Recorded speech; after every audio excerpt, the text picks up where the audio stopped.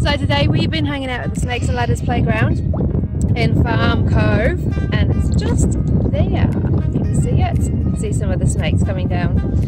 Currently we are in the water. It is amazing! Amazing! Amazing. Yeah. Not the biggest one, but it's a cool playground. Lots of fun. So you can actually play snakes and ladders. Hey Jacob, you can actually Yeah. play snakes and ladders. Yeah, there's You- two. There's two dice. Um, Two dice stations, roll a dice and you work your way through the board. and then you win.